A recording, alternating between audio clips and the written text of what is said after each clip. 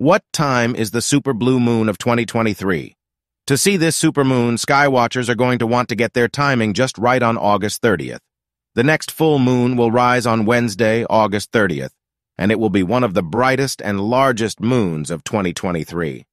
The term blue moon has nothing to do with color, but since the 1940s has commonly referred to the second of two full moons that fall in a calendar month. Thus, Wednesday's full moon is defined as a blue moon because it is the second full moon of August.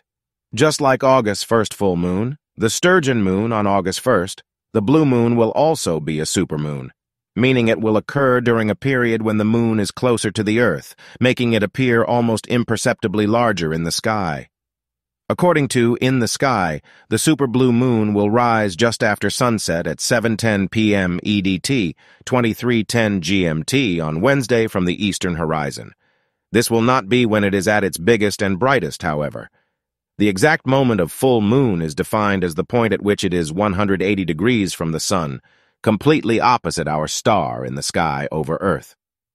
For this year's blue moon, the moon will be opposite the sun at 9.36 p.m. EDT on Wednesday, August 30th, 0336 on August 31st, according to NASA.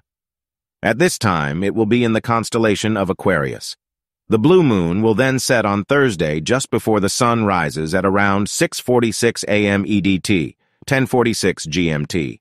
As explained above, a blue moon is commonly classified as the second full moon of a single calendar month, although it technically refers to the third full moon in a season that has four full moons. Full moons occur around 12.4 times a year, and that means that every 2.8 years, a 12-month period has 13 full moons. Thus, one of those months will have to accommodate two full moons and, thus, has a blue moon. Because the moon's cycle takes 29.5 days to go from one full moon to the next, that means this month saw the full sturgeon moon at the start of the month and a second, the blue moon at the end of the month. Not all blue moons are supermoons like the full moon of August 30th, however. A supermoon occurs when a full moon falls during a period when the moon is closer to Earth.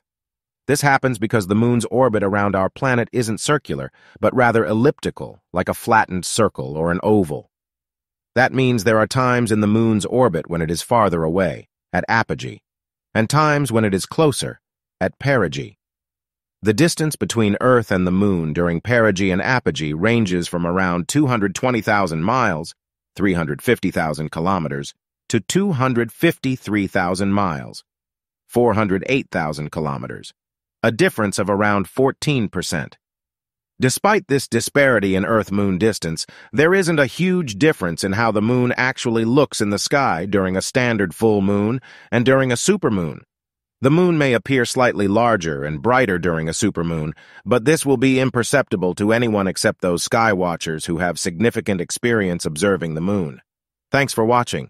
Please don't forget to subscribe to the channel if you like the video.